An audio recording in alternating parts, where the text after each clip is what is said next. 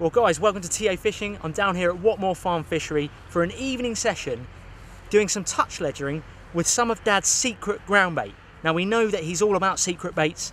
I don't know what it is, I don't know how I'm going to fish it really, but the weather's really warm, got to get the rods out. Will it work? Who knows guys, but you've got to be in it to win it. I've got about an hour and a half, that's it. Let's get these rods out. Here's the gear I've been given to use. Some of Dad's vintage rods. We've got an Avon quiver tip rod, two and a half thousand size reel with six pound line straight through. On that six pound line, I have a size four barbless hook and about 8 to 12 inches up the line, a simple BB shot pinched on the line. It cannot get simpler than that, guys. I have absolutely no idea what is in this, people, but it is going to come up in an episode of TA Fishing really soon, probably on Friday. But obviously, once this video's out, it might not be a Friday, the other one might already be up.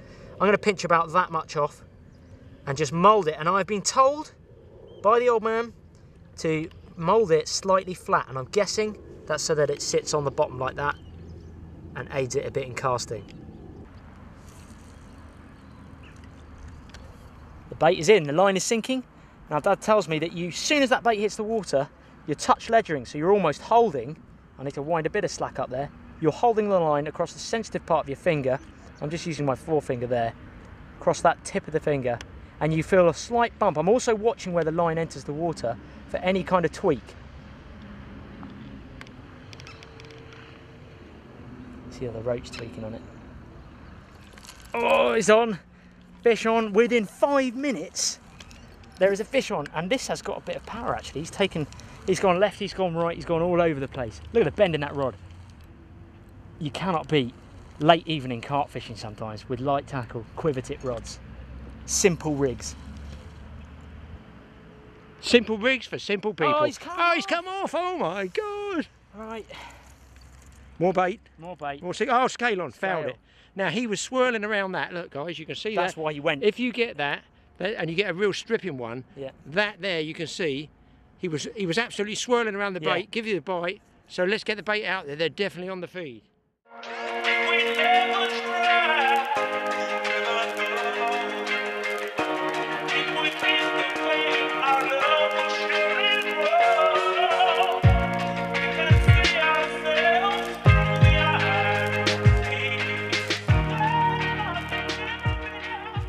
Short-handled nets. Great fun. Look at the back of that. Look at those markers. I don't know if you can see that in the sun. Hold on. Look at those scales in the sun there. That is really, really pretty. The back of that fish. Get him on the mat. Get him. Look bait at out that. again. Awesome, those markings, that scale. Let's get him in. Well, look, look at those markings. Here we go. That is golden, awesome secret bait fishing. Dude. And touch ledgering. In late summer, you cannot beat it. That's totally awesome. Look at that tail as well. Guys, I tell you what, you don't want to be missing the next episode of TA Fishing because this secret bait is totally awesome. Look at that.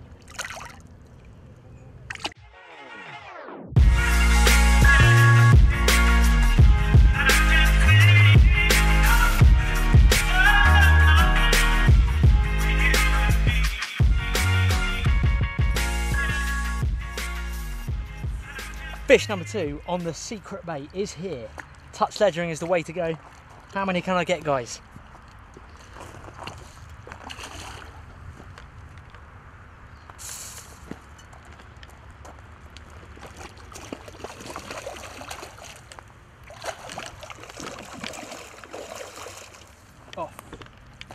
Fish came off, unfortunately, but the way they're on the bite, I don't think it'll be long, guys, until I get another one. Well, I lost that last one, but it wasn't long, guys, before I got this one on the drop. Touch ledgering. And it's not, I don't think it's as big, but again, it looks like a really pretty fish with that scaly back to them. And I can't complain because the weather is absolutely stunning. Looks like a barbel, this one. Oh, that's a common, actually, I think. Common barbel.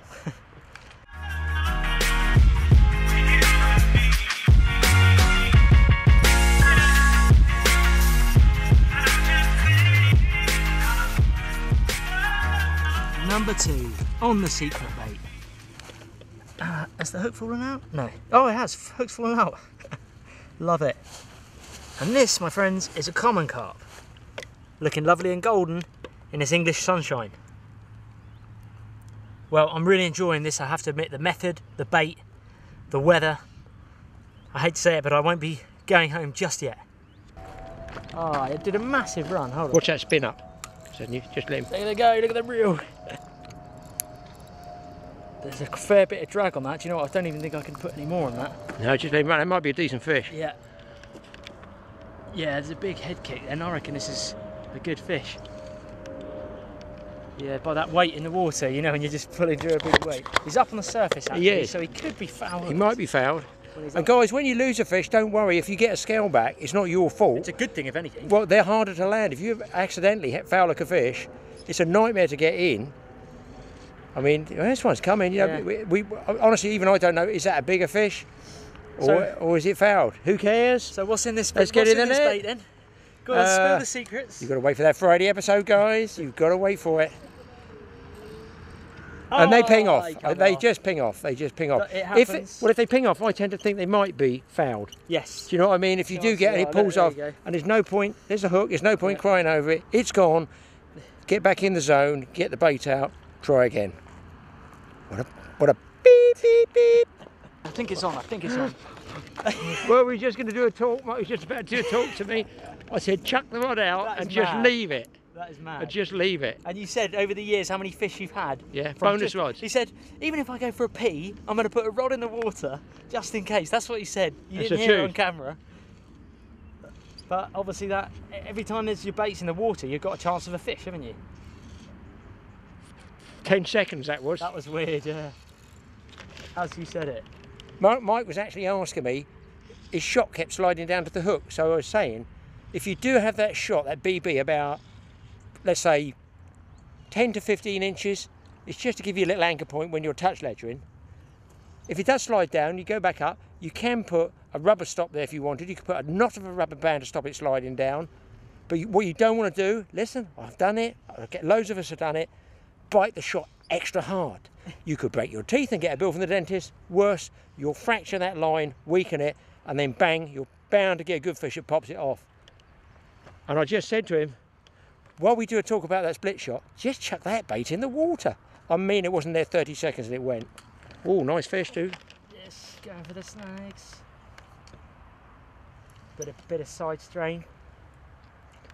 Now we do have a snag down in here. Yeah. He's right Um, near it. We don't know what it is. They're going to try and get it with some chest waders, but what they said, people, was the fishing is so awesome here. They reckon there's loads of rods in the water being dragged off the rest where people aren't looking or dozing off. Don't ever doze off. Well, you can't when you're touch ledging. You're in touch with the fish all the time. Oh, bit bigger, Mike. Bit bigger. It's, yeah, it's good size. That is ridiculous. Ah, in the net. I wonder how many people are not going to sleep till we put that next episode up to find out the secret bait. And honestly, I have slayed the fish on it this year. It's like a homemade. I can't tell you, it's not even a recipe. It's not any of those stupid bait things. We're not trying to sell them to you. You know, it's just a really, really good way of fishing with a bait. Hook fell out. Lovely golden colours That's again. way big. It's eight. That's an eight. Yeah, that's a s- yeah, I'd seven, say eight. seven, eight pounder. Again, look at the markers on the back. I'll just hold him like that so you guys can see. Look at that. And in a little bit of autumn sunshine. As they say in America, it don't get no better than that.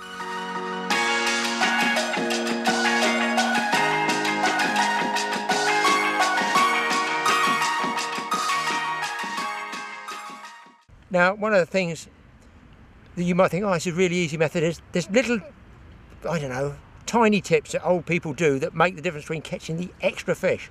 Now, Mike showed you about moulding it around the hook. If you get some of this special bait we're going to be telling you about, nobody knows what's in it yet, it's a secret, and you mould it around the hook, pushing it down along the shank, but leaving, this is more for casting at distance, leaving a little bit of point showing there. Can, I don't know if you're going to see that, I'll put my hand there. There's a little bit of point showing on there, then that could just nick something as you strike, rather than at quite a distance, you're trying to pull it through the bait. And don't leave it out a long time, more than two minutes, because the roach's going to eat it. Now then, when it's out there touch ledgering, the way I do it, and have done it for years, 40, 50 years, barbel and chub fishing, we're just doing exactly the same thing. As I cast out, I've automatically will put the knuckle of the bail arm here. So that's the closest point to the butt here because my hand is round the butt. In fact, I actually hold mine further up the blank. I put my one, two, third from little finger here and I fold it across like that so that the, the line, if you can see it, is curving over and under there. Now, I've got the quiver tip that I can see the tip going. I'm also can get a pull here, I can feel the tug, but I just gently lower the rod top so I'm pointing at where the bait went in and I turn the handle until I very, very slowly keep pace with that sinking bait and when it is actually on the lake bed, I just tighten up onto either that BB shot or the weight of the bait and just hold it there, just hold it. Occasionally you'll be lucky enough if it's gravel, you can feel it bump, bump, oh, there's a bump at the other end. You can feel it bumping and that's where you want to be and just sit there you can support the reel with the palm of your hand like this but I'm always always got that across my finger you can sometimes I find in a cold weather I move it I move my finger. If you're, if you're in the winter let's say and it's very cold I find the third one two three finger is a standard one I use but when it's cold this one is softer. It rarely gets used a lot. So I would use the other hand. If you wet it it sticks on the line a bit more and I would hold it like that just this finger with the others like a sort of guitar string across the tip of your fingers. The only downside to this is, you know, you've got to hold two hands out extended, ready to strike. God. You're joking. No, I'm not joking. No way. That is ridiculous. Well, you're dealing with an expert here, guys, obviously. Hold on, don't fall in the water when you say that. Painfully obvious. What, on the chair as well? Yeah. Your prize chair. I mean, there's good and there's... Oh, God. Watch it fall out. Hold on, you, I need to go on widescreen, your head's getting bigger. Oh no, there's, there's, a, there's never a, a, camera that's going to get that in there. anyway, guys, I've been doing it a long time, so that's I've been touch legend for barbel, chub, and it works with carp big time.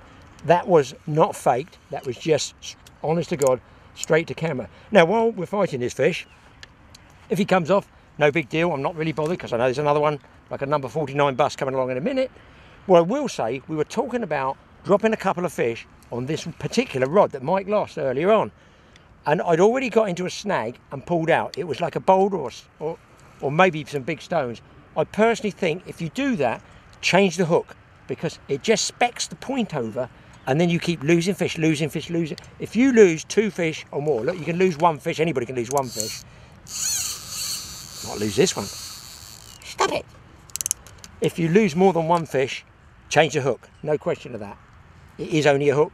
Make sure you get rid of that hook. Don't throw it away, take it home, wrap it up in a piece of paper, put it in the bin, or I snap mine with um, a pair of pliers so it doesn't stick in anybody anywhere else, wherever it goes in life after that. You do not want to have it in your tackle box. And I'm finger, finger dragging this as well. This one is lighting my finger up. Ow! Is you don't want to put it in the back in the tackle box and then pull it out and use it on another trip, then lose another two fish. If it's a blunt hook, get rid.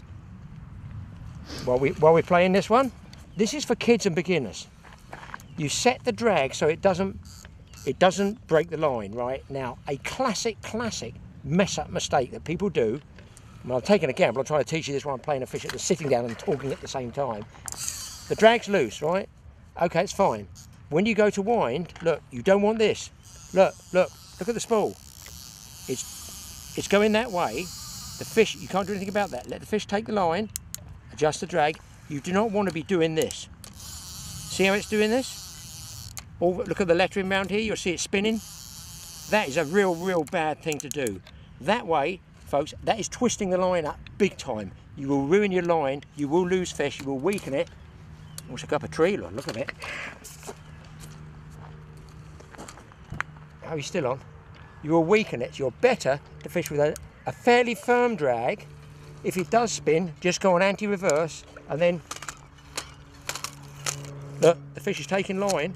Just let the line go like that and you're stopping it on the bail arm. Additionally, if you do have a light drag, you saw me do it earlier.